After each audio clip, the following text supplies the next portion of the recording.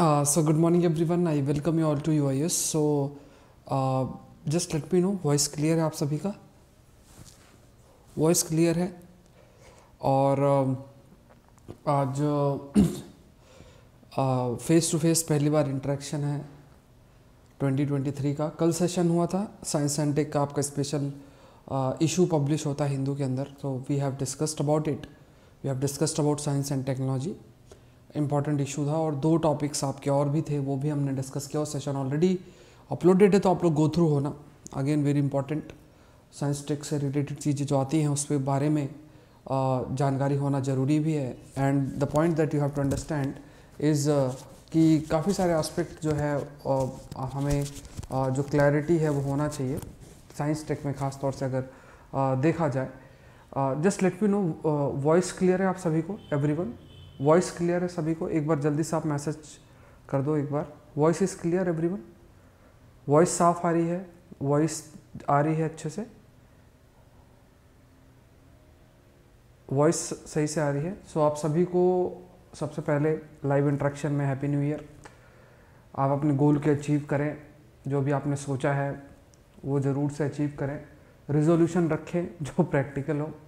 उसको रखे। मैंने भी कल एक रिजोल्यूशन रखा था, कल ही टूट गया। सो वैसा नहीं रखना है। कल डिस्कस किया था उस रिजोल्यूशन के बारे में, आप सभी से। तो वैसे नहीं रखना है। कुछ वैसे अपना, जो भी आपको अच्छा लगे, उसको आप रिजोल्यूशन रखें। और कल मैंने एक सेशन भी आपके साथ शेयर किया था। प्रोफेसर हैं सीनियर प्रोफेसर हैं, उनके साथ एक डिस्कशन था। तो आई होप आप लोगों ने उसको गो थ्रू हुआ होगा। इंडियन कल्चरल कंटेक्स्ट भी थोड़ा सा जानकारी होनी चाहिए एम ट्राइंग कि कुछ जो आपका बेसिक रूट है, उससे भी आप कनेक्ट हों। आपको थोड़ा सा जानकारी उससे भी हो। मतलब ऊपर से तो नॉलेज आपको रहता ही है अलग अलग एस्पेक्ट में। बट कल्चरल कंटेक्स्ट के बारे में भी आपकी जानकारी इंक्रीज़ हो तो एक एक एक होलिस्टिक व्यू पॉइंट चीज़ों को लेके आपका हो पाएगा। तो एक अभी गुरु Gyan series I have started कल पहला एपिसोड था। 9 पीएम को रिलीज़ हुआ था। अभी दूसरा, तीसरा ऐसे कई एपिसोड्स आई विल रिलीज़ जिससे कि आपका जो नॉलेज है अलग अलग एरिया से रिलेटेड वो इन्हेंस और इंक्रीज होगा। So let's start with today session आज के सेशन को डिस्कस करते हैं। एंड क्वेश्चन uh, uh, देख लो आज का जो सेशन उस सेशन के अंदर we are going to discuss this question ठीक है? इसको लिखना आसान नहीं होगा। अगर आप क्वेश्चन को देखो in global order twenty first century to be Asian century but not without multipolarity multipolarity के बिना डिस्कस करना है। वैश्विक क्रम में इक्कीसवीं सदी एशियाई सदी होगी लेकिन बहुध्रुवीयता के बिना नहीं। चर्चा करें, ठीक है? तो ये डेढ़ सौ शब्द में आपको लिखना है। इसका कंटेंट क्या होगा? आगे डिस्कस करेंगे। So this session is presented by me my name Saurabh Pandey ये क्वेश्चन है टॉपिक्स हैं। जो टॉपिक्स हम लोग आज डिस्कस करेंगे dangers of deepfake deepfake science tech का टॉपिक है। Problem of bad loans economy का टॉपिक है। ठीक है? N M N M M S app and social audit ये गवर्नेंस और टेक्नोलॉजी पर बढ़िया प्रश्न आपके लिए बन सकता है। गवर्नेंस एंड टेक्नोलॉजी पर आपका प्रश्न अच्छा बन सकता है। तो यहाँ फिर है comprehensive migration mobility partnership agreement है। तो जैसे डायस्पोरा और माइग्रेशन और इसके कंटेक्स्ट में ये टॉपिक इंपॉर्टेंट है। फिर मल्टीपोलर एशिया प्रीलिम्स और मेंस का क्वेश्चन मेंस का क्वेश्चन मैंने आपको दिखा दिया है। प्रीलिम्स का भी हम लोग डिस्कस करेंगे। So this session is presented by me my name Saurabh Pandya I exam की तैयारी कर रहे हैं। अकेडमी से ज़रूर से जुड़ना कल से क्लास शुरू हो रही है मेरी। थर्ड जनवरी है। और थर्ड जनवरी की इस क्लास के अंदर हम लोग लाइक टाइमिंग आपकी साढ़े ग्यारह बजे होगी। और ये भी आपको याद रखना है कि इस क्लासेस होंगी मंडे से फ्राइडे तक। दो दिन आपके पास रिवीजन के लिए है, काफ़ी ज़्यादा कंटेंट कवर हो जाता है।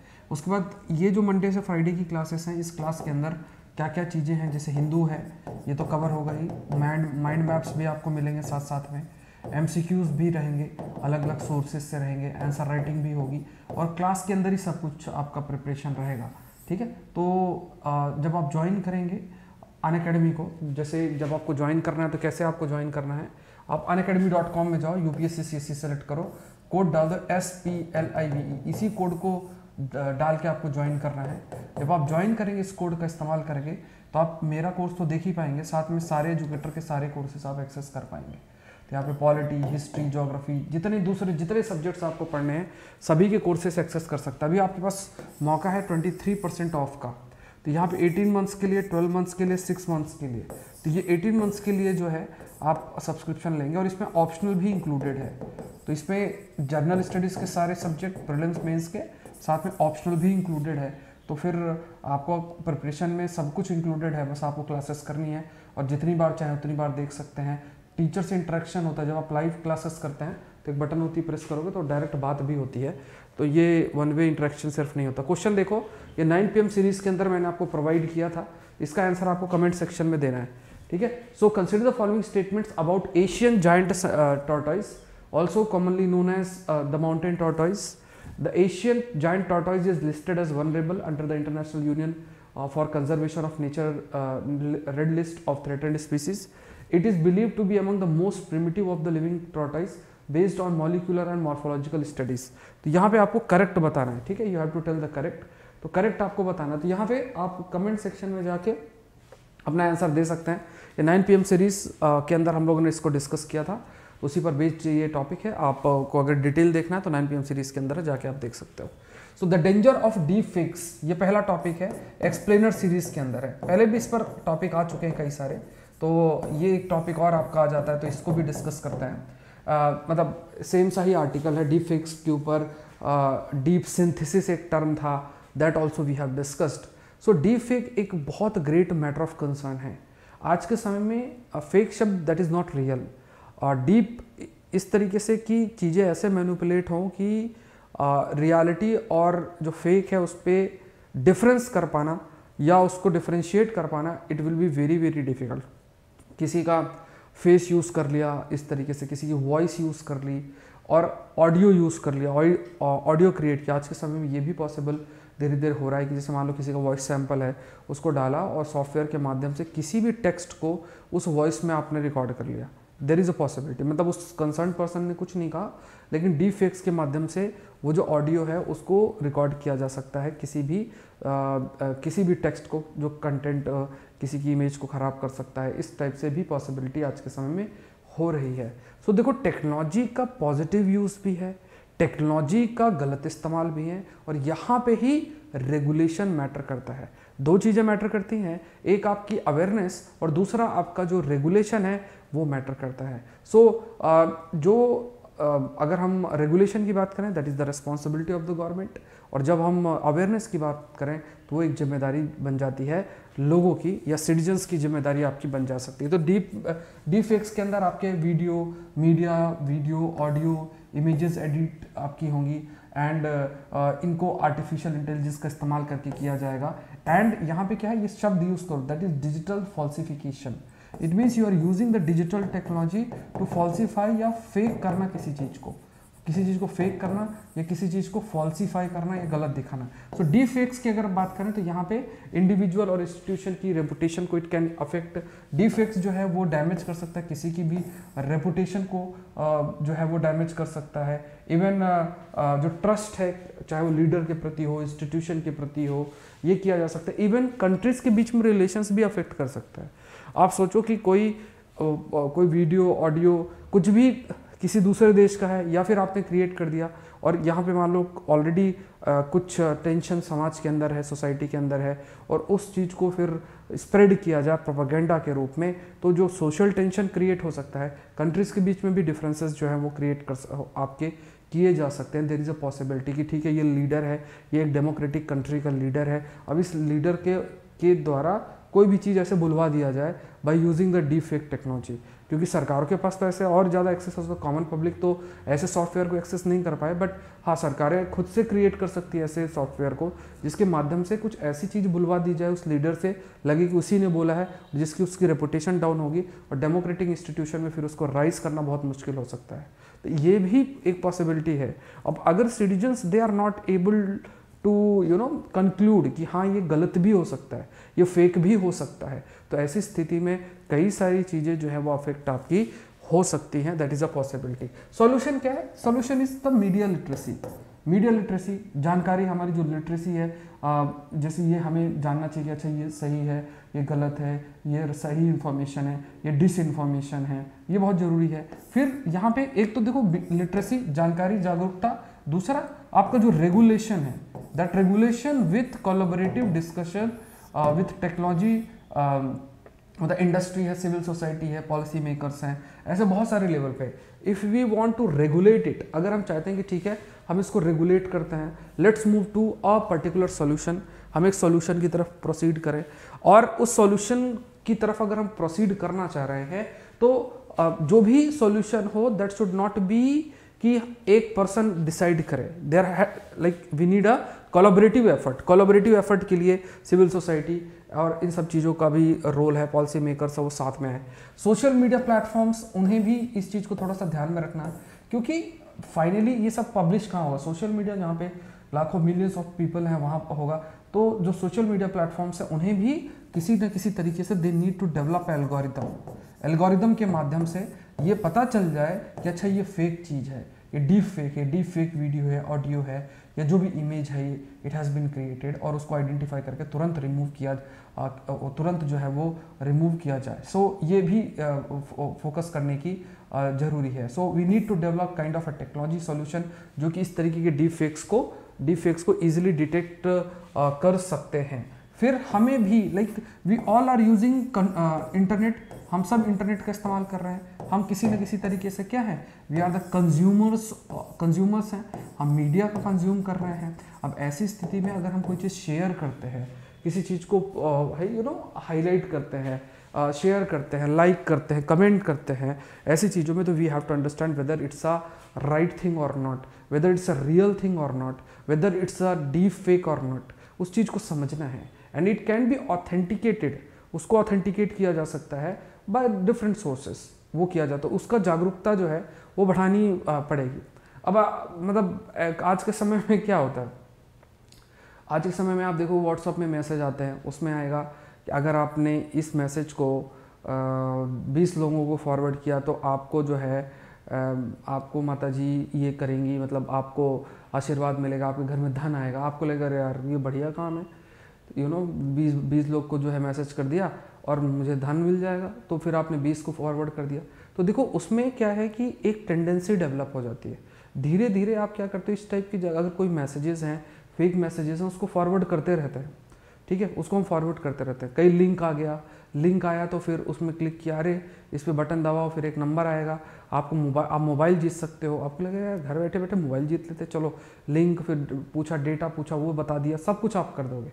जल्दी जल्दी तो यहाँ पे हमें समझना है ये जो शॉर्टकट है, कोई भी चीज़, किसी चीज़ के प्रति कहीं भी कहीं भी अगर ये लाइफ में एक चीज़ हमें मेंशन करना है कि कभी भी किसी चीज़ को बहुत जल्दीबाजी में अगर किया जाए, कोई किसी चीज़ के लिए बहुत जल्दीबाजी कर रहा है तो आपको हमेशा अलर्ट होना चाहिए। ये बहुत इंपॉर्टेंट है। किसी भी आस्पेक्ट में, खासतौर से साइबर सिक्योरिटी सर आज आपका अकाउंट डीएक्टिवेट हो रहा है, सर आज ऐसा हो रहा है, सर आज वैसा हो रहा है तो वो जब आपको बहुत ज़्यादा ऐसा दिखाने का प्रयास करेंगे या हाईलाइट करने का प्रयास करेंगे then there is a possibility then कि कुछ ना कुछ फेकनेस हो then there is a possibility और उस चीज़ को हमको आइडेंटिफाई करना पड़ेगा।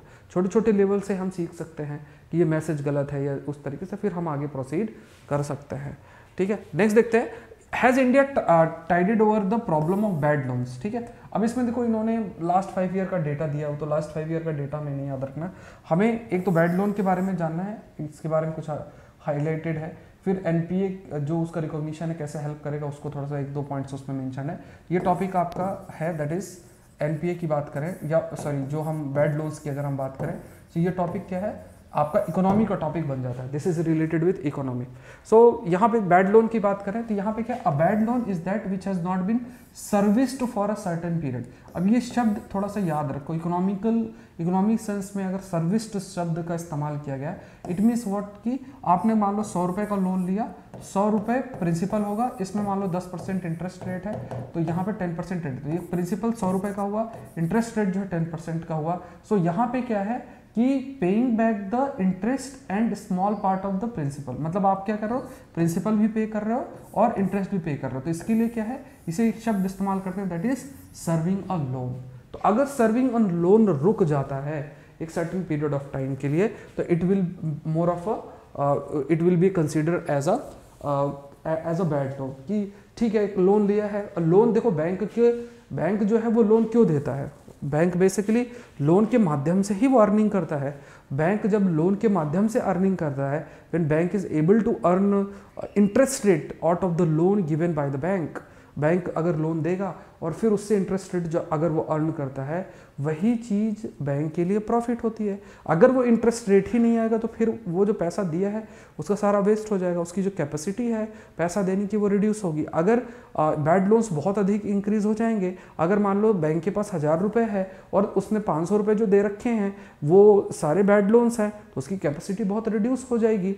रीपे करने की and it may impact the life and livelihood of the people क्योंकि किसी को घर बनाना है, किसी को गाड़ी खरीदनी है किसी को बिज़नेस के लिए चाहिए, किसी को कहीं ना कहीं तरीके से तो लोन चाहिए। और बैंक की अगर पेइंग कैपेसिटी या लोन पेइंग कैपेसिटी रिड्यूस होगी तो it will also affect the life and the livelihood of the people as well because कई कॉरपोरेट सेक्टर इंडस्ट्री की अगर हम बात करें तो उन्हें लोन की ज़रूरत होती है नए नए बिज़नेस सेटअप के लिए। और अगर वो बिज़नेस सेटअप नहीं हो पाते तो एम्प्लॉयमेंट अपॉर्चुनिटीज़ भी आपके देश के अंदर इट विल रिड्यूस ये आपकी रिड्यूस होती है। So why is there a need to recognise NPS क्यों एनपीएस को रिकॉग्नाइज करना ज़रूरी है? Because it has like it has a impact on our financial system आर्थिक जो हमारा ढांचा है उस पर अफेक्ट होगा। लाइफ एंड लाइवलीवुड जो लोगों का है उस पर आपका अफेक्ट होगा। सो so, यहाँ पे हेल्दी जो फाइनेंशियल सिस्टम उसके लिए ज़रूरी है कि बैड लोन्स कम से कम हो।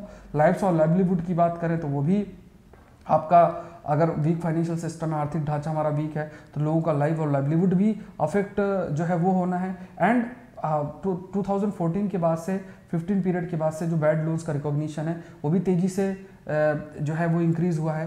पीरियोडिक जो एक्सेस करना क्वालिटी रिव्यू को, ठीक है? क्वालिटी जो रिव्यू है, करना एसेट का पीरियोडिक लेवल पे एसेट का। जैसे अब बैंक है बैंक पैसा प्रोवाइड कर रहा है लोन प्रोवाइड कर रहा है whether that loan is properly served और not servicing of the loan जैसा अभी हमने डिस्कस किया कि when you are using this term that is servicing of the loan it simply means what इसका क्या मतलब हुआ? कि जो भी प्रिंसिपल है, वो पे हो रहा है इंटरेस्ट रेट पे हो रहा है we will use this term called as servicing of the loan और जो सर्विसिंग ऑफ़ द लोन अगर प्रॉपर है so this will facilitate bank to earn profit और फिर बैंक की जो पेइंग कैपेसिटी लोन की है वो भी या जो लोन देने की कैपेसिटी है वो भी आपकी इंक्रीज हो जाती है। सो so, ऐसी स्थिति को क्या आपको पीरियोडिक रिव्यू करते रहना चाहिए? बैंक का एसेट का जो पीरियोडिक रिव्यू है उसको करना ज़रूरी आपका बन जाता है। And then there is a term called as ever greening of loans इसको भी तुरंत प्रिवेंट करना चाहिए। इट मीन्स वॉट कि ऑलरेडी स्ट्रेस्ड एसेट है एंड uh, मतलब पहले ही स्ट्रेस्ड एसेट है पहले ही बैड लोन की कंडीशन आपकी आ रही है और अब लोन पे लोन दे रहे हो। तो यहाँ पे जो बैंक कर्मचारी है, उनके फिर इथिक्स इंटीग्रिटी पर भी फिर प्रश्न आने लगता है। तो जो बैंक ले, जो जो भी बैड लोन है, वो बैड लोन होने के बावजूद भी वी कैन से जो स्ट्रेस्ड एसेट है that is visible and when you have a stressed asset इसके बावजूद भी लोन पे लोन दिया जा रहा है। तो it has to be avoided इस चीज़ को भी अवॉइड करना ज़रूरी बन जाता है। नेक्स्ट देखते हैं। The advent of the absolute chaos in NREGA under under the guise of transparency अब इन्होंने देखो अपना व्यू पॉइंट दिया है। काफ़ी सारा अपना एक इंटरव्यू दिया है। हमें जानना है एक ये पॉइंट जानना है और एक ये पॉइंट जानना है। ठीक है? ये ध्यान में रखना। पहला पॉइंट क्या है?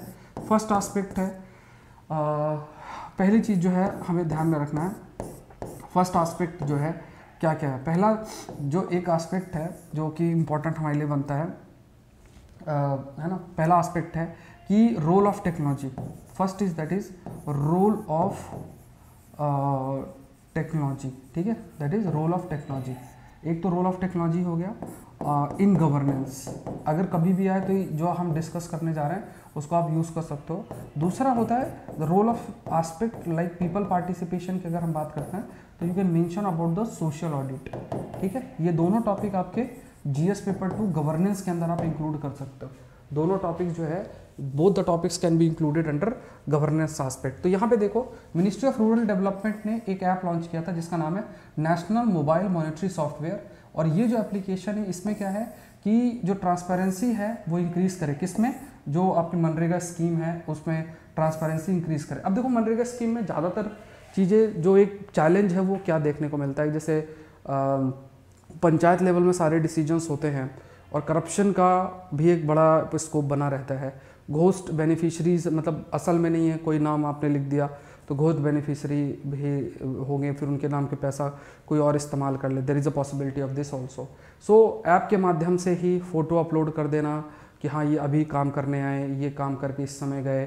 सारी जो भी जानकारी है, वो सारी की सारी जानकारी ऐप के माध्यम से प्रोवाइड कर देना। रियल टाइम जो डेटा है, वो आप ऐप के माध्यम से प्रोवाइड कर सकें। तो इससे बेनिफिट क्या होगा? इससे ये बेनिफिट होगा कि एटलीस्ट जिनको जो मनरेगा स्कीम का फ़ायदा उठा रहे हैं, वो वही रियल बेनिफिशियरी हैं कि नहीं है? प्रॉपर ट्रांसपेरेंसी जो है वो रहेगी अकाउंटेबिलिटी है वो रहेगी, ये सारी चीज़ें लेकिन इसमें फिर एक और चैलेंज आ जाता है that is related with the awareness अगर ऐप की अगर हम बात करें, किस तरीके से ऐप का इस्तेमाल करना है इंस्ट्रूमेंट है कि नहीं उस ऐप को प्रॉपर इस्तेमाल करने के लिए कि नहीं? जो पर्सन है सपोज़ करो जो वर्कर हैं उनकी जागरूकता है कि नहीं है कि वो इस ऐप को सही से इस्तेमाल कर पाएँ या है ना? तो ये बहुत सारे ऐसे चैलेंजेस आपके बनेंगे या बन रहे हैं। तो यहाँ पे क्या है कि देखो सबसे ज़रूरी क्या है कि डिजिटल पेनिट्रेशन अगर हम इंक्रीज भी करते हैं so how to use that digital technology या डिजिटल प्लेटफॉर्म को हम किस तरीके से इस्तेमाल करें? That is the challenge that we have to consider that is the challenge that we have to see और उसी से हमको डील भी आपको uh, करना है। तो यहाँ पर अगर देखा जाए कि local women at the panchayat level who are selected and train to the to monitor NREGA work site यहाँ पे मतलब ट्रेन किया जाता है और इस ऐप के माध्यम से, जैसे मान लो, इस ऐप का इस्तेमाल करके नरेगा वर्कर्स हैं तो वुमेन है या किसी को ट्रेन किया गया है तो वो एक मॉनिटरिंग कर, किया जाएगा कि नरेगा काम सही से हो रहा है कि नहीं हो रहा है फ़ोटो अपलोड करना और इस टाइप की चीज़ें, जैसे फ़ोटोग्राफ करना अटेंडेंस प्रोवाइड करना है हर वर्कर्स को, उसको टैग करना, उसकी पोजिशनिंग किस समय ये कहाँ, यहाँ पर काम कर रहे हैं। अब एक चीज़ जो खाई, कही गई है, एक तरफ़ आपने सोल्यूशन निकाल दिया, वो है टेक्नोलॉजी टेक्नोलॉजी के माध्यम से आप उस स्कीम को आ, सही करना चाहते हो। आप ट्रांसपेरेंसी इंश्योर करना चाहते हो आप अकाउंटेबिलिटी इंश्योर करना चाहते हो। आप ये चाहते हो कि ठीक है जो भी आ, सही तरीके से आ, जो बेनिफिशरीज़ हैं उन तक चीज़ें पहुँचें और उसको टेक्नोलॉजी के माध्यम से आप इम्प्लीमेंट करना चाहते हो। अब आपको ये समझना है कि जब आप इस रोल के बारे में बताओ when you are writing about it when you are मतलब आप मेंशन कर रहे हो आप हाईलाइट कर रहे हो कई सारे एस्पेक्ट पर आप uh, चर्चा कर रहे हो रिलेटिंग uh, कि किस तरीके से किसी स्कीम को हम इफ़ेक्टिव बना सकते हैं कैसे किसी स्कीम को एफिशिएंट बना सकते हैं ऐसी स्थिति में you can mention you can highlight this app ये जो ऐप है इसको आप एग्ज़ाम्पल के रूप में मेंशन कर सकते हैं. And we need a social audit social audit की ज़रूरत है. ये एक कम्युनिटी पार्टिसिपेशन की बात है. ठीक है? अब इसको समझते हैं कि क्या सोशल ऑडिट का मतलब क्या होता है? बहुत ही आसान है, लेकिन समझना ज़रूर है, ज़रूरी है। देखो, क्या होता है कि मान लो कोई स्कीम है, मान लो मनरेगा की स्कीम है, ठीक है? मनरेगा की स्कीम है, अगर आप इसको इम्प्लीमेंट करते हो तो उसमें आपके एक्स वाई जेड बेनिफिशरीज हैं। एक तरीका क्या है? एक तरीका है कि आप मॉनिटरिंग करने के लिए आप टेक्नोलॉजी का इस्तेमाल कर रहे हो। टेक्नोलॉजी में इनकी फ़ोटो डाल दी, जियो टैगिंग कर दी, ये सब चीज़ें आप कर रहे हो जिससे कि हाँ सही पर्सन है हाँ काम हो रहा है, नहीं हो रहा है, ये सब आप करके आप क्या इंश्योर करना चाहते हो? यू वॉन्ट टू इंश्योर ठीक है ट्रांसपेरेंसी है और आप ये कह रहे हो कि चलो अकाउंटेबिलिटी भी हम इंश्योर कर सकते हैं। आपके पास सारा डेटा आ रहा है, सारी चीज़ें हैं, वो ऐप के माध्यम से कर रहे हो तो एक तरीका ये हो गया। दूसरा तरीका क्या है? दैट इज़ टू डेवलप और to increase the community participation community जो पार्टिसिपेशन है, उसको इंक्रीज करना। अब इसके लिए एक कंटेक्स्ट हाईलाइट किया गया है। एक होता है जिसे हम कहते हैं सोशल ऑडिट सोशल ऑडिट की बात की गई है। सोशल ऑडिट का मतलब क्या हुआ? कि यहाँ पे यहाँ पे कम्युनिटी का पार्टिसिपेशन आपका हो रहा है। ऑडिट किस चीज़ का होता है? ऑडिट किस चीज़ का होता है? किसी भी जो कार्य हो रहा है वो कार्य सही हो रहा है कि नहीं हो रहा है? जैसे मान लो खर्चा हुआ एक्सपेंडिचर हुआ। अब एक्सपेंडिचर सही हो रहा है कि नहीं हो रहा तो उसकी एक ऑडिट रिपोर्ट बनती है। कि हाँ इन्होंने यहाँ यहाँ खर्चा किया ऐसे खर्चा किया ऑडिट रिपोर्ट बनती है। तो इसमें बहुत सारे मान लो फाइनेंशियल मैटर में सीए है या देखा जाए तो कैग है ये ऑडिट रिपोर्ट्स आपकी जमा करते हैं कि हाँ ये सारी चीज़ें हैं। और इस सोशल ऑडिट का मतलब क्या है? सोशल ऑडिट के अंदर ऑडिट का मतलब ये हुआ कि जो भी स्कीम है, मान लो मनरेगा की स्कीम है, वो मनरेगा की स्कीम प्रॉपर तरीके से इम्प्लीमेंट हो रही है। इस चीज़ की ऑडिटिंग या इस चीज़ का पूरा जो टेक अवे है दैट विल बी गिवन और it is to be ensured by the beneficiaries it लोग जो हैं, जो इसका बेनिफिट उठा रहे हैं, जो कम्युनिटी है, वो उस चीज़ को कहेगी कि हाँ ठीक है। उनसे बोला जाएगा अच्छा आपको कार्य मिला? हाँ मिला। कितना मिला? इस टाइप से मिला। ऐसे हुआ, ये हुआ। ऐसे बहुत सारी चीज़ें। तो यहाँ पे क्या है the people they themselves are participating to carry out the audit यहाँ पे इसका बेनिफिट क्या है कि एटलीस्ट एटलीस्ट लोग जो है they are participating in the process of governance at the same point of time they are participating in implementing a kind of implementing the implementing the welfare scheme तो ये ये concept है that we call it as social audit social audit में community participation काफ़ी increase आपका जो है वो किया जाता है। ठीक है, इसका पीडीएफ मैं आपसे शेयर करूँगा तो आप लोग गो थ्रू जो है वो हो जाना। ठीक है, ये आंसर है जो शेयर किया था आर्या ने। क्वेश्चन पूरा लिखा करो, है ना? इन्होंने पूरा क्वेश्चन नहीं लिखा है। तो उसमें पूरा क्वेश्चन था what are the factors responsible for changing pattern of migration in South Asia तो ये क्वेश्चन है। आप लिखो, मैंने कम्युनिटी सेक्शन में भी इनका आंसर पोस्ट कर दिया है। आप लोग गो थ्रू हो सकते हो। जब भी आंसर आप, आपको है कि, देखो इसमें इन्होंने टाइम लिखा है कि इनको लिखने में आठ मिनट लगे हैं। नाम इन्होंने लिखा है, ठीक है? तो एग्ज़ाम में मत लिखना कि आठ मिनट लगे हैं। मतलब जस्ट कि आपके माइंड में हो कि, ठीक है, जो मैं आंसर लिख रहा हूँ, उसमें मुझे आठ मिनट लग रहे हैं या नौ मिनट लग रहे हैं। मुझे ज़्यादा समय नहीं, ऐसा अगर आधे घंटे में लिख रहे हो तो कोई मतलब नहीं है, ठीक है? वर्ड्स आप काउंट करके रखो कि अगर आठ मिनट में आप 130 वर्ड्स लिख रहे हो कि नहीं लिख रहे हो। आपको ये ज़रूर से पता होना चाहिए कि ये जो पेज है, इस पेज में आपके कितने शब्द आते हैं। देखो, अगर 10 नंबर का प्रश्न है तो एक पेज ये है और इसके पीछे वाला पेज आपको मिलेगा। तो लगभग आपको पता होना चाहिए, वहाँ काउंट तो करोगे नहीं। आपको पता है मेरे यहाँ पे 80 शब्द आते हैं तो यहाँ पे आधे पेज में मेरा पूरा हो जाएगा। शब्द इंक्रीज मत करो। ठीक है? क्योंकि यहाँ शब्द इंक्रीज करोगे तो फिर फर्दर आपको कहीं कम करना पड़ेगा। क्योंकि आपको सोचो 200 है, जिसमें 10 में से 10 क्वेश्चन आपके डेढ़ सौ शब्द में लिखना है, और 10 क्वेश्चन आपको ढाई सौ शब्द में लिखना है। तो ढाई हज़ार ये हो गए, ठीक है? और आपके डेढ़ हज़ार ये हो गए। ठीक है? तो यहाँ पे आप खुद सोचो, चार हज़ार शब्द आपको लिखने हैं। अगर आप वर्ल्ड लिमिट पे स्टिक करते हो, अगर आप इंक्रीज करोगे, देखो बहुत अगर आप चार हज़ार को डिवाइड करो 180 मिनट से तो काउंट काउंट करो कितना आ जाएगा। ठीक है? तो यहाँ पे पर मिनट कितने शब्द हो गए? अब उतना फास्ट लिखना बहुत मतलब ऐसा नहीं, थोड़ा सोचना भी पड़ता है लिखने में। तो ऐसा जब भी आप वर्ल्ड लिमिट किसी में क्रॉस करोगे तो फिर कहीं और का फिर कॉम्प्रोमाइज़ हो जाएगा। तो ये मैं आपको कई आइडियाज़ आपसे शेयर करूँगा कि किस तरीके से आपको अप्रोच करना चाहिए, जब आप लिखो प्रॉपर तरीके से। हो सकता है बीस में से कुछ क्वेश्चंस आपको आए, किसी को ना आए। ठीक है तो ये बेस्ट आंसर मैंने आर्या का सेलेक्ट किया है। इसको मैंने कम्युनिटी पोस्ट में भी डाल दिया है, आप लोग जाके उसमें डाउनलोड करके देख लेना और लिखने की आदत डालो। आप, अगर आपको लगता है, अरे, मैं नहीं लिखूँगा। कई वीडियोज़ होंगे, अरे, आज से नहीं लिखना है, पंद्रह साल बाद लिखना शुरू करेंगे। आप अभी तैयार नहीं हो। तो ये सब उसमें नहीं जाना है। कोई चीज़, देखो अब सबसे बड़ा चैलेंज लिखने में होता है कि आप कोई चीज़ आपके पास कंटेंट नहीं अभी हम कोई चीज़ डिस्क जैसे आज का मेन्स का क्वेश्चन है। अब उसको मैं आपको एक्सप्लेन करूँगा ना पूरा। फिर आप सुनोगे और फिर उसी पर बेस्ड क्वेश्चन है तो ये तो लिख सकते हो ना। अभी किसी चीज़ का आपको पता ही नहीं तो उसमें आप क्या लिखोगे? वो तो एक प्रैक्टिकल सेंस है। लेकिन आप कोई चीज़ सुन रहे हो you are listening to a topic then based on the question you are writing the answer अब अगर आप नहीं करोगे इस चीज़ को तो फिर वो चीज़ें फिर फर्दर आपकी डिले होता जाएगा। और आपको ये समझना है, आप नहीं लिख रहे हो, सामने वाला लिख रहा है। या आप देखो, ये कि जैसे ये स्टूडेंट है, कल भी मैंने दो शेयर किए परसों शेयर किए थे, और अब बहुत अच्छे अल्टीमेट आंसर पोस्ट कर रहे हैं लोग, ठीक है? आप अपना आंसर पोस्ट कर सकते हैं Saurabh Pandey academy Telegram channel के अंदर। लिंक मैं आपसे शेयर करता हूँ तो कमेंट सेक्शन में आपको मिल जाएगा, वहाँ जाके आप लोग को पोस्ट करना है। आप जितना डिले करेंगे कि मेरा आंसर कहीं बुरा न लग जाए, बिल्कुल क्यों हेजिटेट करना है? वाई टू हेजिटेट क्यों हेजिटेट करना? सामने वाला लिख रहा, आप भी लिखो ना। कॉम्पिटेटिवनेस होना चाहिए माइंड के अंदर। अगर आप ये सोचो कि नहीं मेरे लिए जो है, ठीक है, नहीं लिख पा रहा हूँ तो फिर अगर आपको ऐसा लग रहा है तो थोड़ा आप अपने आप को मोटिवेट करो और लिखो। ये सोचो कि सामने वाला लिख रहा है तो मुझे भी करना है। वहाँ पे कोई आपको कुछ कर तो देगा नहीं। है ना? तो आप पोस्ट कर रहे हो आंसर तो आप रेगुलर बेसिस में करो। आपको भी देखना है कि धीरे धीरे आज मैं लिखूँगा, कल मैं और अच्छा लिखूँगा, परसों आज लिखूँगा। तो धीरे धीरे एक डेढ़ दो महीने में चीज़ें इंप्रूव होंगी। अगर हम इसको डिले करते जाएँगे तो वो फिर उतना ही डिले होगा। तो डिसीज़न मेकिंग आपको तुरंत करनी चाहिए। अवॉइड करना है फर्दर डिले नेक्स्ट देखते हैं। India and Austria to sign a migration mobility agreement तो इसमें हो सकता है कोई एडिटोरियल आए।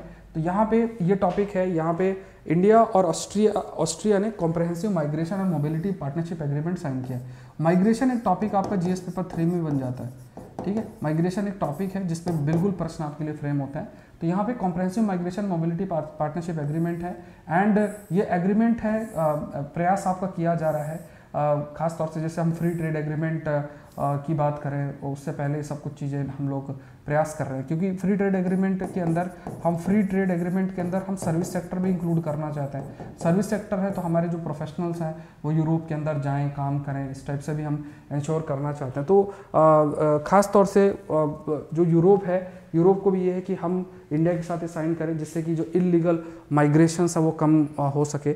इस पर वो उनका ऑब्जेक्टिव है। कई प्रकार लगभग पंद्रह बीस हज़ार इलीगल माइग्रेंट्स जो मान ऑस्ट्रिया में जा रहे हैं तो उसको कैसे इलीगल माइग्रेशन को रोका जा सके? तो उस डायरेक्शन में ये काफ़ी आपका हेल्पफुल रहेगा। तो यहाँ पे क्या है? जैसे ये जो एग्रीमेंट है, ये मल्टीपल जो एंट्री वीज़ा है प्रोफेशनल स्टूडेंट्स के लिए वो वो रेगुलेट करेगा, थोड़ा इजी कर सकता है। एंड ये रेगुलर बेसिस में एक जॉइंट वर्किंग ग्रुप है, वो उसके द्वारा रिव्यू आपका किया जाएगा। सिमिलर मोबिलिटी एग्रीमेंट हमने फ्रांस और यूके और जर्मनी के साथ भी हमने साइन कर रखे हैं। नेक्स्ट देखते हैं। India's dilemma dilemma in the Asian century बहुत अच्छा टॉपिक है।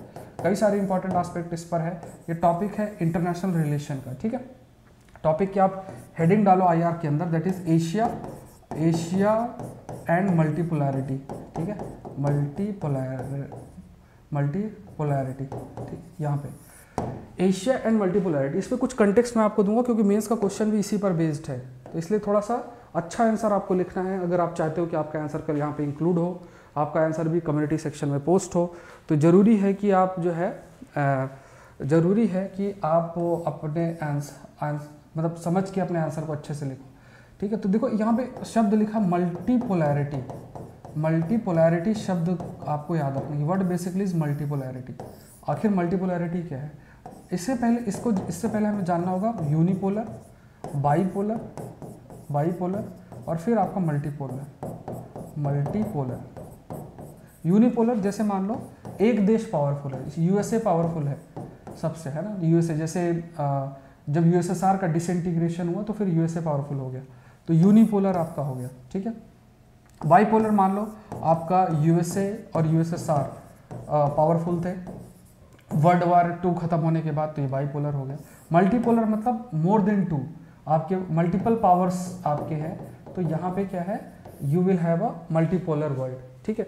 अब इसमें क्या है कि अगर एक पावर एक कंट्री पावरफुल है तो ये क्या करेगी? इसकी हेजीमनी होगी, ये शब्द इस्तेमाल होता है हेजीमनी मतलब ये जो चाहेगा अपने इंटरेस्ट के अकॉर्डिंग करेगा। बाईपोलर होगा तो ये दोनों पोलराइज हो जाएँगे। मतलब एक तरफ़ क्या होगा, एक तरफ़ यूएसए तो कुछ कंट्री यूएसए से जुड़ी जाएँगी depending upon their value system कुछ कंट्री जैसे पहले यूएसएसआर के बीच में, जैसे इनसे जुड़ जाएँगे। आज के समय में मान लो यूएसए चाइना यूएसए रशिया इस टाइप से हो गया। तो कंट्रीज़ इनके आपस में जुड़ेगी। जब मल्टीपोलैरिटी होती है तो इसमें में क्या होता है? मल्टीपोलैरिटी में मल्टीपल कंट्रीज़ पावरफुल होती हैं। और ये एक दूसरे को बैलेंस करती हैं। ठीक है? So there is a concept called called as balance of power there is this concept called as that is balance of power balance of power शब्द जो है वो आपको याद रखना है। सो so, यहाँ पे ये चीज़ें ध्यान में रखना। अब यहाँ पे क्या क्या बातें जो है वो आपके हाईलाइट किए गए हैं कि खास तौर से अगर देखा जाए जैसे एशिया से विड्रॉल यूएसए का ताले तालिबान का राइज हो गया या तालिबान का प्रेजेंस हो गया अफ़गानिस्तान के अंदर। फिर चाइना का एग्रेसिवनेस यूक्रेन का जो वॉर है ये क्या है कि कहीं ना कहीं कि ये जो पूरा का पूरा पावर डायनेमिक्स है एशिया के अंदर, इस चीज़, इस, इन सारे फैक्टर्स ने एशिया के अंदर जो पावर डायनेमिक्स है, उसको अफेक्ट किया है। रशिया और चाइना की बात करें, ये लगातार ट्राई आपका कर रहे हैं कि ख़ास तौर से जो जो बैलेंस है वर्ल्ड में पावर का, उसको अपनी तरफ़ झुकाएँ। कई दूसरे रीजनल पावर्स भी इमर्ज हो रहे हैं। तो ये क्या है? It is a sign of world getting multipolar ठीक है? यूनिपोलर में मतलब फिर तो एक ही पावरफुल है वही जो चाहेगा वो करेगा। बाईपोलर में हो गया कि कुछ पावर्स हैं मतलब दो पावर है मान है ना?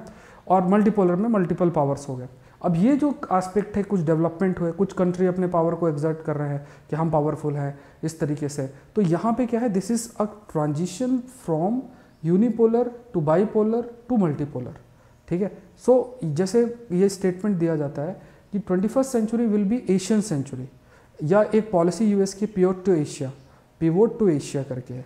सो so, वो रियलाइज़ किया जा रहा है कि एशिया में जिसका प्रेजेंस और डोमिनेंस होगा कंटिन्यूस बेसिस में वही देश आगे चल के आ, आ, आप कह सकते हैं वो पावरफुल होगा। उसकी जो आ, आ, जो पावर पावर एस्पेक्ट है वो आपका रहेगा फ्यूचर के। अंदर। तो एशियन सेंचुरी और मल्टीपोलैरिटी इस पर इन्होंने कहा कि one alternative to unipolar world है मल्टीपोलर वर्ल्ड जैसा अभी हमने डिस्कस किया रशिया चाइना जापान इंडिया ये कई पावर्स हैं। दूसरा फिर और स्मॉल पावर भी आपके इमर्ज हो रहे हैं। चाइना की बात करें तो China is trying to dominate Asia continuous basis में और यहाँ पे इंडिया के लिए भी बड़ा चैलेंज बन जाता है। सो so, इंडिया की बात अगर किया जाए तो multipolarity is one premised on the rule of law of और पीसफुल को अब ये लाइन समझने की बात है। अगर देखो एशियन सेंचुरी है, अगर 21वीं सदी को एशियन सेंचुरी है विद इन एशिया अगर सिर्फ़ चाइना ही पावरफुल है, या वर्ल्ड में सिर्फ़ चाइना ही पावरफुल है so it will try to impose its will whims fancies मतलब इसका जो इच्छा होगा वो ये करेगा। इससे जो वर्ल्ड ऑर्डर है दैट विल बी अफेक्टेड चीज़ें जैसे अब इसका मन किया, चलो इधर ऐसा ट्रेड करते हैं, किसी को भी रोक दिया तो जो रूल्स रेगुलेशन नॉर्म्स ये जो इम्प्लीमेंटेशन है दैट विल बी अफेक्टेड तो यहाँ पे क्या है? चैलेंज क्या आएगा? कि अगर मल्टीपोलर वर्ल्ड है मल्टीपोलर वर्ल्ड में क्या है? कि आपके पास मल्टीपल पावर्स हैं। अगर एक देश गलत करेगा तो दूसरा उसको रोकेगा। दूसरा गलत करेगा, तीसरा रोकेगा। तो ये बैलेंस बना रहेगा। So multipolarity basically it will also help in what we call it as a peaceful co क्योंकि अगर यूनिपोलैरिटी है बाईपोलैरिटी है तो उसमें जो दो पावरफुल देश है या एक पावरफुल देश है, उसकी जो इच्छा होगी, वही वो करेगा। सो so, ये एक चैलेंज इंडिया के लिए भी बन जाएगा। If China is rising even the world is getting bipolar एक तरफ़ यूएसए एक तरफ़ चाइना है वो भी सही नहीं है क्योंकि अगर चाइना इनफ पावरफुल है या यूएस ने मान लिया कि ठीक है इसका इन्फ्लुएंस बहुत बढ़ रहा है इसको भी अपने साथ ही रख लेते हैं और हम अपना स्पेस डिफाइन कर लेते हैं। इसमें हमारा फोकस होगा और इसमें जो है चाइना का फोकस होगा अपना स्पेस डिफाइन कर लिया। That is also not good for India because China का dominance will somehow affect the interest of India as well because हमारा बॉर्डर डिस्प्यूट है और सारी चीज़ें हैं। फिर ये एक चैलेंज जो है देखने को आपका मिल सकता है। तो यहाँ पे जैसे अभी कई प्रकार के डेवलपमेंट हो रहे हैं। ग्लोबलाइजेशन का वेपनाइजेशन ट्रेड का वेपनाइजेशन ये सब चीज़ें हो रही हैं।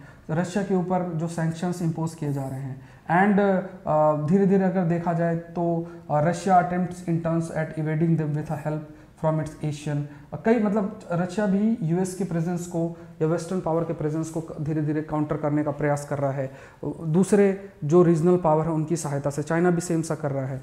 ग्लोबलाइजेशन का वेपनाइजेशन या ट्रेड का वेपनाइजेशन का मतलब क्या है कि जब आप किसी चीज़ के, आपको पता है कि मुझ पर निर्भरता है और उसे आप एक वेपन के रूप में इस्तेमाल कर रहे हो। आप कह रहे हो कि देखो, मुझे अगर ये बेनिफिट आपको चाहिए तो मेरे इस इंटरेस्ट को आपको इस्टेब्लिश करना पड़ेगा। आपकी इंडस्ट्री रॉ मटेरियल के लिए मान लो चाइना पे निर्भरता, निर्भर करती है। तो आप क्या कर रहे हो कि चाइना कर रहा है कि ठीक है, आपको आपको लगता है कि इस रॉ मटेरियल की आपको ज़रूरत है तो आपको मेरे इन इंटरेस्ट का करना पड़ेगा। तो ये क्या है? Weaponization of supply chain weaponization of trade weaponization of globalization ये देखने को मिल रहा है। सो वेपनाइजेशन ऑफ़ ग्लोबलाइजेशन या एक टर्म अगर आप याद रखो, ये बहुत इंपॉर्टेंट इसको लिख लो।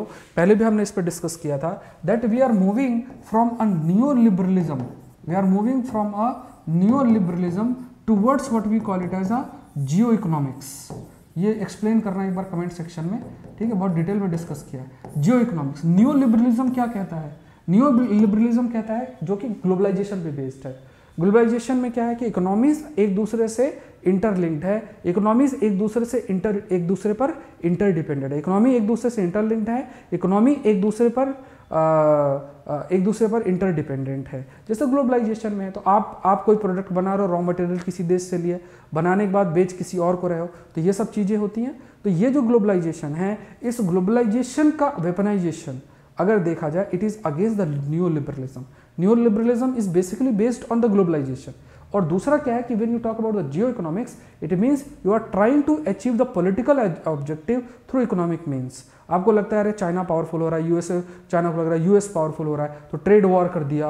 और क्यों? क्योंकि दोनों आगे ना बढ़ पाए। इससे दूसरा भी अफेक्ट होगा। So you are trying to achieve the political objective through the economic means मतलब इकोनॉमिक जो भी चीज़ें उसके माध्यम से आप ऐसा अचीव करना चाहते हो। So we call it as geo economics तो ये जो जियो इकोनॉमिक्स है it has become a new trend एक नया ट्रेंड आपका बन गया है। और ये जो जियो इकोनॉमिक्स है, ये क्या है? इसको रोकने के लिए विश्व को कैसा होना चाहिए? मल्टीपोलर क्योंकि मल्टीपोलर होगा तो एक दूसरे के डिफरेंट इकोनॉमिक पॉलिटिकल जो भी डिफरेंट डायमेंशन पावर के हैं, उसको बैलेंस एक दूसरे से किया जा सकता है. That is a possibility so Asian century को अगर बनना है so we can move move towards अगर मान लो एशियन सेंचुरी में भी अगर सिर्फ़ बाईपोलर हुआ कि सिर्फ़ इंडिया या यूनिपोलर हुआ कि चाइना ही बहुत पावरफुल है तो वो सारा अपने मन के हिसाब से चीज़ें करेगा. उसको बैलेंस करने के लिए इंडिया की ज़रूरत है. और दूसरी कंट्रीज़ भी अगर साथ में हैं पावरफुल है तो वो बैलेंस ऑफ़ पावर एशिया के अंदर रहेगा और उसमें rules regulation and peaceful coexistence वो इंश्योर आपका किया जा सकता है दैट कैन बी डन ये आपको ध्यान में रखना है। फिर देखो दिल्ली का डेलेमा क्या मतलब? इंडिया का डेलेमा क्या है? न्यू दिल्ली ने हमेशा से मल्टीपोलर वर्ल्ड की बात हमेशा से किया है इंटरनेशनल पॉलिटिक्स की अगर हम बात करें। एंड uh, ये भी कहा है कि Asian century without stable multipolarity नहीं हो पाएगा जैसा भी हमने डिस्कस किया है। मल्टीपोलर की अगर हम बात करें तो ये uh, ये देखो, इसमें बहुत अच्छी लाइन लिखी है। इसमें कहा गया कि देखो, अभी आप कह रहे हो कि इंटरनेशनल जो पॉलिटिक्स है, उस इंटरनेशनल पॉलिटिक्स में मल्टीपोलैरिटी का ज़रूरत है। दैट इज़ द केस कि मल्टीपोलैरिटी जो है इंटरनेशनल पॉलिटिक्स में ज़रूरत है। इंडिया ने इस बात को कहा multipolarity basically is a phase जिसके बाद फिर बाइपोलैरिटी आएगी। मल्टीपोलैरिटी क्या है? एक फेस है, जिसके बाद बाईपोलैरिटी आएगी। इट मीन्स कि यूएसए और China they will be powerful so so, वो इंडिया के इंटरेस्ट के लिए ठीक नहीं है. So that India will try to focus कि हम एक मल्टीपोलर वर्ल्ड को कैसे डेवलप करें जिससे कि पीसफुल को जो है वह इंश्योर हो सके. ठीक है ये बातें जो है इसके अंदर लिखी हुई हैं. गुरु ज्ञान सीरीज़ मैंने आप लोगों के लिए स्टार्ट की है और इसमें कल्चरल कंटेक्स्ट में जो है हम लोगों ने डिस्कशन किया है नया साल और भारत की परंपरा. अब इसमें कई कल्चरल कंटेक्स्ट जो है उसको आई हैव डिस्कस्ड मतलब विथ प्रोफेसर रमाकांत इनके साथ जो है हम लोग का डिस्कशन हुआ है। तो इसको आप लोग ज़रूर से गो थ्रू हैं। कई series I am trying to bring under Guru Gyan series जिससे कि आप रूट से जुड़े रहो। आपका जैसे ऐसे राइटिंग के अंदर ना जो एक लिंकेज होता है चीज़ों को समझने का दैट यू कैन डिराइव जब आप शब्दों को सुनते हो थॉट प्रोसेस थोड़ा अलग हो आ, उसको सुनते हो इथिक्स और ऐसे के लिए बहुत हेल्पफुल रहेगा। तो I have tried to include this अभी कई चीज़ें आएँगे कई टॉपिक्स आएँगे जैसे दर्शन और साइंस में क्या अंतर है? दर्शन और साइंस में क्या अंतर है? यू विल अंडरस्टैंड कि कोई पर्सन अगर 30 30 40 40 साल किसी सब्जेक्ट को पढ़ता है ना उसका लेवल ऑफ़ नॉलेज और एक सुपरफिशियल नॉलेज में क्या अंतर होता है? है ना जब आप लोग सेशंस को सुनोगे तो ये already video uploaded go through होना और आप फिर हम एक और टॉपिक डिस्कस करेंगे ये सारे वीडियोस आएँगे कि जो विद्यार्थी होता है जैसे पहले के टाइम पे जो विद्यार्थी होते थे तो वो उनको क्या क्या क्वालिटीज़ उनके अंदर होती थी और उनको क्यों आ, क्या क्या वो क्वालिटीज़ होती थी, कैसे होती थी और आज के लिए भी क्या वो रेलिवेंट है कि नहीं? इस पर भी एक सेशन है मेरा like we will discuss with professor तो वो भी आप लोग गो थ्रू होना। इसको थोड़ा सा इस सीरीज़ को कंटिन्यू करने के लिए अलग अलग एरियाज़ में जो भी है अच्छे टीचर्स प्रोफेसर्स हैं, वो आए, अपना कुछ ज्ञान शेयर करें अलग अलग एरियाज़ के अंदर। जिससे कि आपको ये इंटरव्यू में भी हेल्पफुल रहेगा और भी कई एरियाज़ में आप लोग के लिए मदद करेगा। ये जो view points different different dimensions view points के होते हैं। तो आप लोग सेशंस को लाइक करें शेयर इसको ज़रूर से करें, ठीक है? और ये एक थोड़ा हैबिट बनाएँ थोड़ा इसमें मोटिवेशन भी बना रहेगा, अगर आप लोग पार्टिसिपेट करोगे। तो वीडियो पड़ा हुआ है, जहाँ मौका मिले आप शेयर करो सेशन को समय मिले ज़रूर से देखो। ये ज़रूर से आप करो, जिससे कि I can continue this series इसमें काफ़ी एफर्ट भी लगता है। तो आई एम होपफुल कि आप लोग इस पर ध्यान देंगे। नीचे ही लिंक आपको दिया हुआ है तो आप लोग गो थ्रू हो जाना। ठीक है? तो अभी मेंस का क्वेश्चन मैं आपको प्रोवाइड करूँगा अन अकेडमी में आप मुझसे जुड़ सकते हैं। जनवरी का कोर्स जो है, साढ़े ग्यारह बजे से कल शुरू हो जाएगा, तीन तारीख से। तो कैसे आपको जुड़ना है अन अकेडमी डॉट कॉम में जाओ UPSC select C S select करो कोड डाल। दो कोड डालोगे अमाउंट रिड्यूस होगा, साथ में पॉलिटी हिस्ट्री जोग्राफी जितने दूसरे कोर्सेज हैं, वो सभी आप एक्सेस कर सकते हैं। और अभी ऑफ़र भी चल रहा है ट्वेंटी थ्री परसेंट ऑफ़ का। ये जो अमाउंट देख रहे हो, ये है अट्ठारह महीने तक। अठारह महीने तक आप मेरे कोर्सेज चाहे जो भी कोर्सेस हैं उनको आप एक्सेस कर सकते हो पॉलिटी हिस्ट्री जोग्राफी इकोनॉमी जितने दूसरे सब्जेक्ट्स हैं बैच कोर्सेज टेस्ट सीरीज़ सब कुछ एक्सेस कर सकते हो इंक्लूडिंग ऑप्शनल ठीक है? तो बहुत अच्छी आपके पास अपॉर्चुनिटी है, इसको आप जब मिस ना करें, और लिंक आपको डिस्क्रिप्शन बॉक्स में मिल जाएगा। क्वेश्चन देख लो, ये क्वेश्चन मैंने आपको दिया था। In global order twenty first century to be the Asian century but not without multipolarity discuss करना है। वैश्विक क्रम में इक्कीसवीं सदी, एशियाई सदी होगी, लेकिन बहुध्रुवीता के बिना नहीं, चर्चा करें। ठीक है? तो इसका आपको आंसर लिखना है। आपका जो बेस्ट आंसर होगा कम्युनिटी सेक्शन में पोस्ट करूँगा। कल का जो बेस्ट परसों जो दिया था मैंने तो उसका बेस्ट आंसर मैंने पोस्ट कर दिया था आप लोग को। कमेंट कम्युनिटी सेक्शन के अंदर आप लोग जाके उस आंसर को देख सकते हैं। सो so, आज के लिए इतना ही। आई होप ये सेशन आपके लिए हेल्पफुल रहा होगा। सेशन को लाइक करें इसका पीडीएफ मैं आपसे शेयर कर दूँगा। टेलीग्राम चैनल का लिंक आपको नीचे मिल जाएगा। So thank you everyone thank you US channel को ज़रूर से सब्सक्राइब करें। Thank you